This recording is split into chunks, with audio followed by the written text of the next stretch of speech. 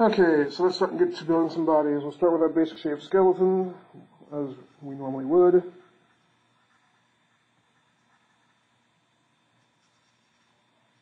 Make sure to keep the arms and legs kind of wide apart here. We will want that space.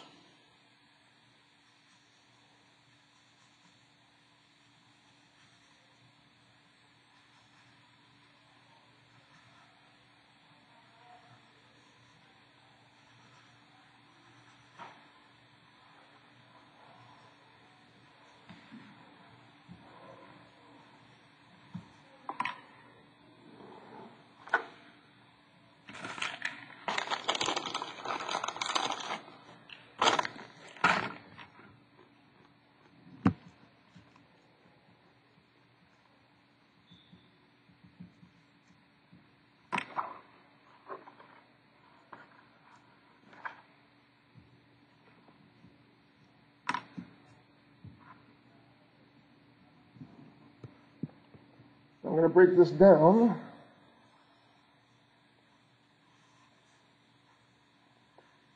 Now, two key sections here. The upper body.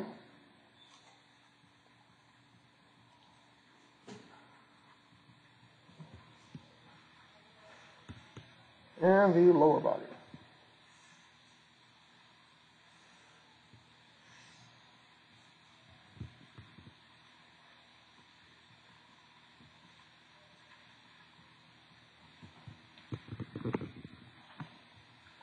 So I'll just be zooming in so you can see exactly what I'm doing.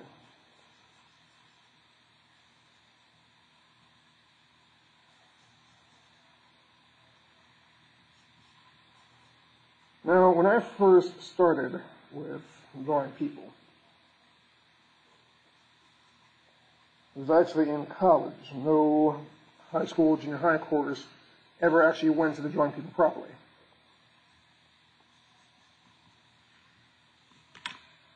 Now, in college, they don't teach you how to use the basic shape skeleton and say, okay, now this is how you layer muscles on. I had two methods I'd go through. One was having to take a skeleton model about this tall, and then I was, I was supposed to mold all the muscles out of clay and fit it onto this model. Interesting, not something that we can do because unfortunately those skeleton models are kind of expensive. I had to rent mine. And the other one was watching my, my professor do it, and then apply what I saw by drawing a natural person. Now, obviously, you cannot look at someone and immediately tell all of their muscles. You all wear too many layers, and especially during this time of year, some of us are wearing two, three layers. Not really easy to see how someone's muscular works. So I had to do it the old academic way. What do you think the old academic way was?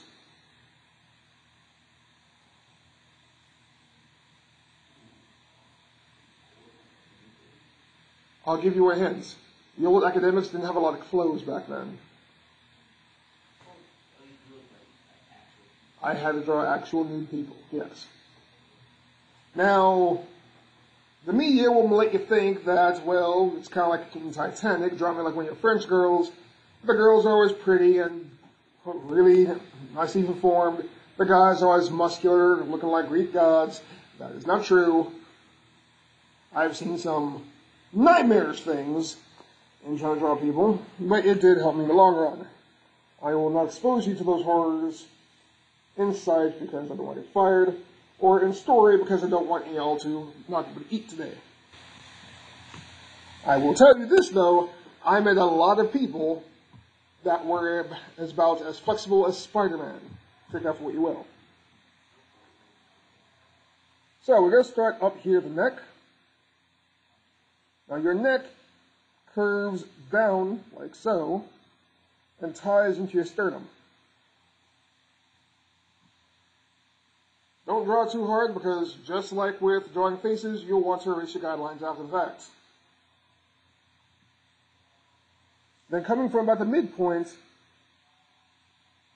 we're going to connect to our shoulders. Let's zoom in so I can see better. There we go.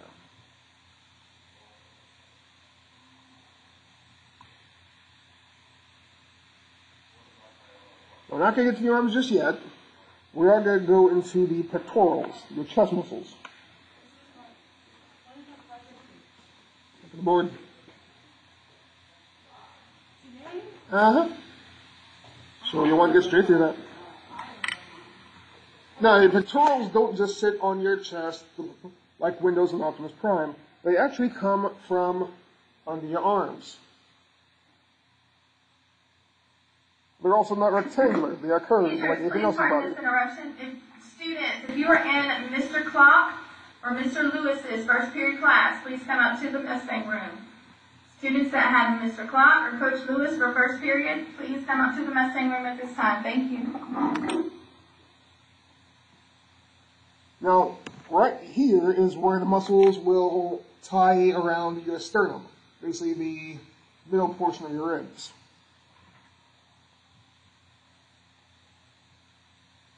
And from there, we create our abdomen.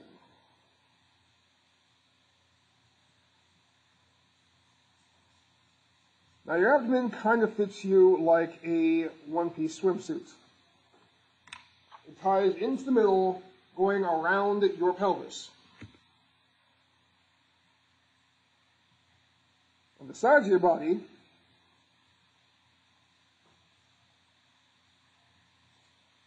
wrap around the space of air.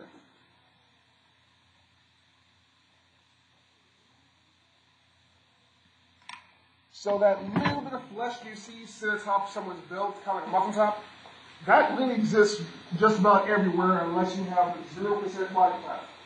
And we will give a body type, you'll see how that works. And that little bit there is caused by this sheet of muscle that sits right inside the pelvis.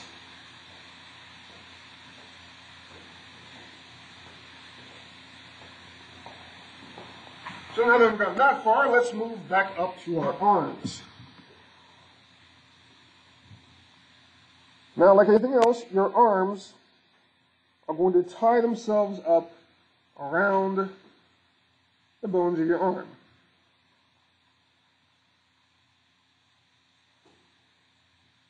Everything is rounded, but everything has to taper. What does taper mean? Close. If someone gets a taper fade, what does that mean?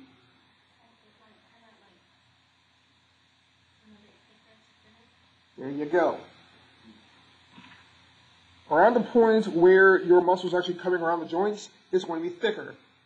As it reaches down towards another joint, it's going to taper or thin as you get further down. No muscle starts like that. Rather, no muscle ends like that. It always like so, and then tapers down as it ties into another muscle. Especially when you get to joints like the elbow or wrist, it thins out again.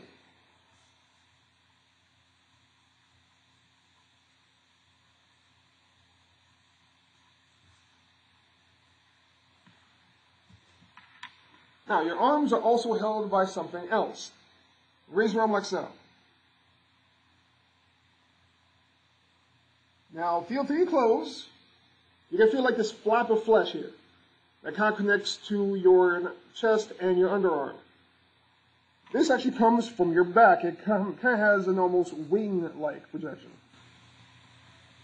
But these muscles help keep your arms in place. So it's not just bone, you have muscles here on the back and here that keep your arm tied in place. Without it, your arm would just pop out of its sockets and pretty much everything did.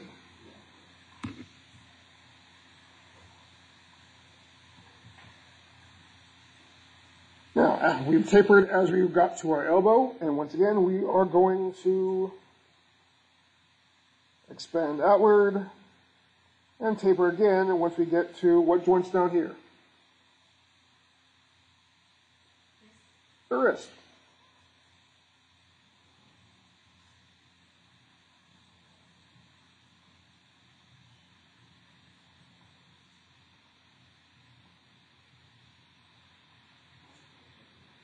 Now for the hand, the good shape I always use is a trapezoid.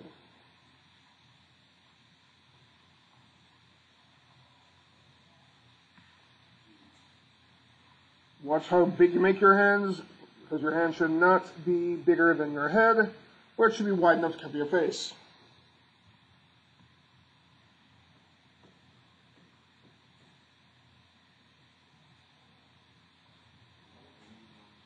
So what are we missing here? The abs. The abs can actually just make a line right down the center. And here's the thing. Everyone has abs. Don't matter, how thin you are, how fat you are, how muscular you are, everyone has abs. The only difference between one person from the next is how defined they are. Now, everyone wants to talk about, so I got a six pack, like, you can actually have like an eight pack, 12 pack even. But it's not that you're growing more muscles, it's that you have put so much muscular weight on your body that the abs you do have are starting to fold. It's also why your abs will always be in an even number. So the abs, sort of the curved line, and make sure it ends right at this middle line here. They're always going to kind of curve diagonally down towards your navel.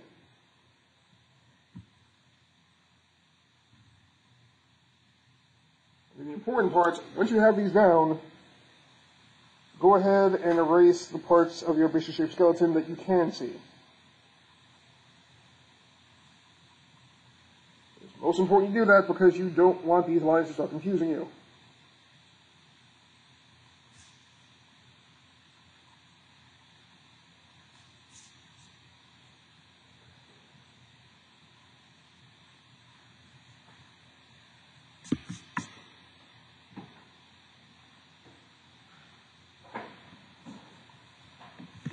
There's a little change here.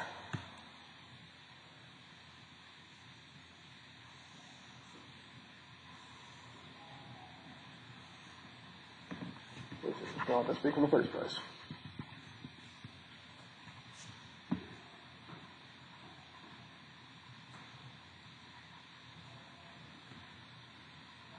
So once we have that, let's go into our lower body.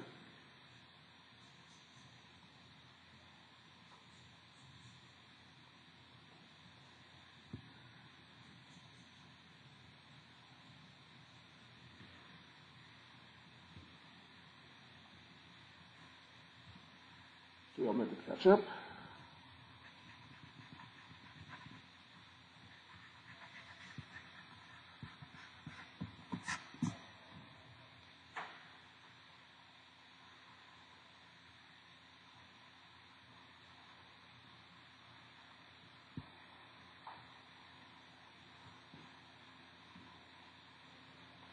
Now, starting from a little curve here, we're going to curve right down to about midway on the thighs. To connect that back up to just under abdominal muscles. These make up the sides of your leg, your thighs. And just like with the arm muscles, they will taper towards your joints.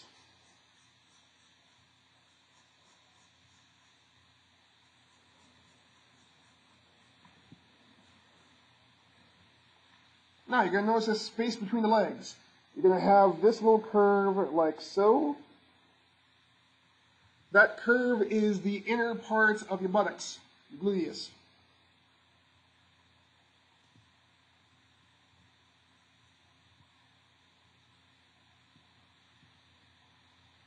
And once you reach this point, curve out from your knee and taper to your ankle.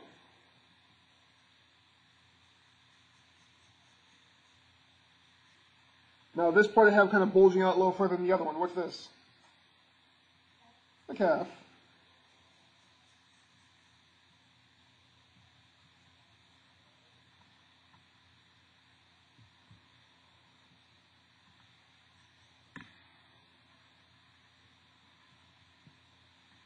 And once again, once you are done, erase your guidelines.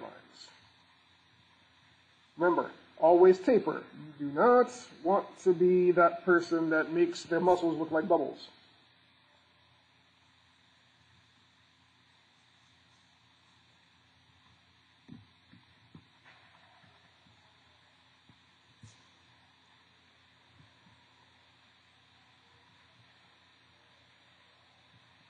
I want you to come to this point, look at your feet. Now, we've been using triangles up to this point, but don't think it odd to add a little bit of a curve and arch to your foot. Besides the fact that, you know, the human body is nothing but curves, the same applies to your foot. And your shoes show this as well. The part right here should be curving upwards. That forms the ball of your feet.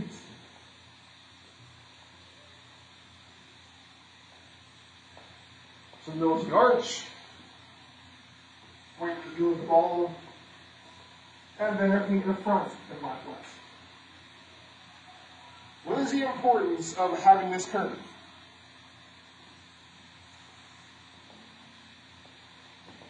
Mistake. Pardon? You don't look like a stick. Won't look like a stick, but think physical. Pardon? Not that we're the rip. It's more a balance issue. See, as you walk, you are wearing down your skin. Now, skin regrows every day, of course. But you want it to grow back in even way. Otherwise, you start getting calluses.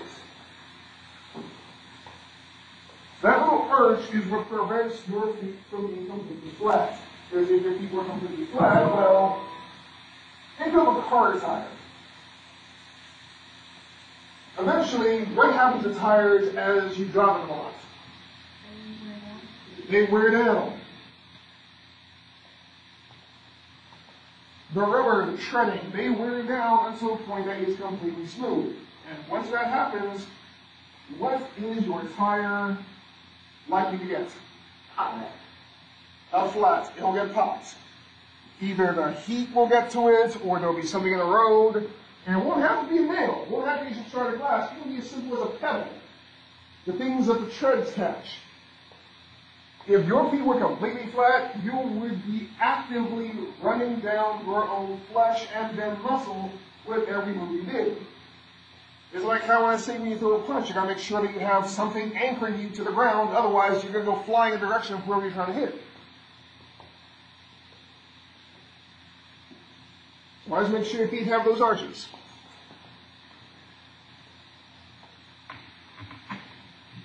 Once you embrace the guidelines,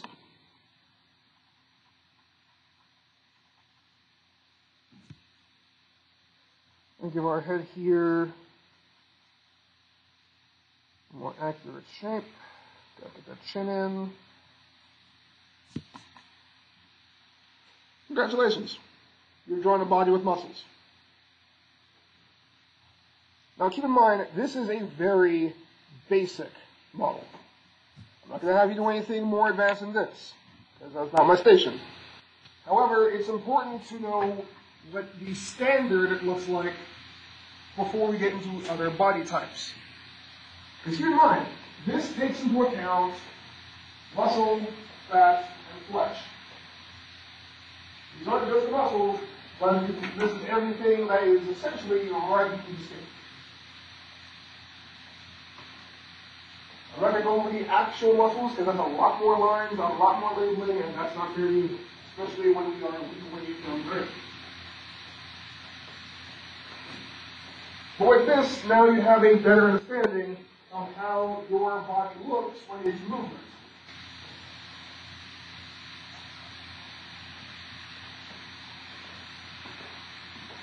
Now, I get this question every year. Okay, Mr. Scott, but what if you want to draw a girl? Same thing. We are not really any different from females in terms of build, with the exception of they have wider hips. None of the differences, the physical differences between male and female, besides the you know, obvious gynecological, are really apparent if you look at someone's muscles. For whatever reasons, when we come from the bones. Slightly different size of the rib cage, wider pelvis, so on and so forth. Unfortunately, then I always get that student goes, well, Mrs. Scott, when are you going to teach us how to draw the, you know, the other thing? Here, you already went through that. No, Mrs. Scott. And? We'll go over that too, but let's get the body first. No, Mrs. Scott. These. And yeah, I actually had a student do this.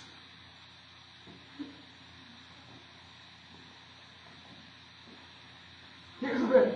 Most of this is muscle. Really included fats as a factor yet. Rather, I have not included it enough. Because these are in this fat. Generally speaking, the fat sits on women faster than men, just because they need more energy. We know enough with fat is really just for the energy.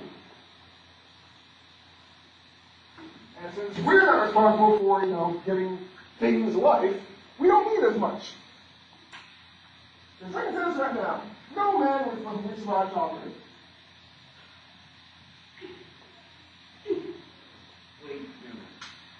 Yeah, wha- whatever that question is, let it die.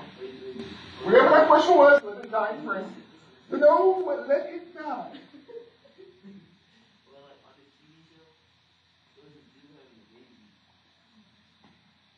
Did I not tell him to let this top die?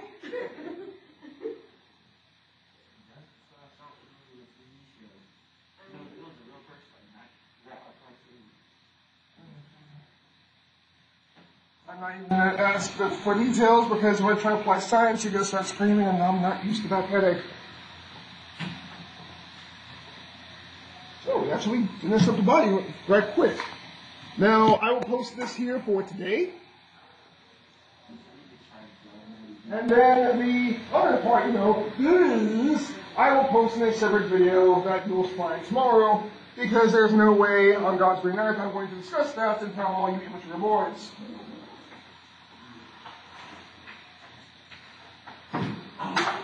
Do not have any tantrum because we didn't draw them. No, that's not All right, yeah, you have a good day. See you tomorrow. Well, online anyway.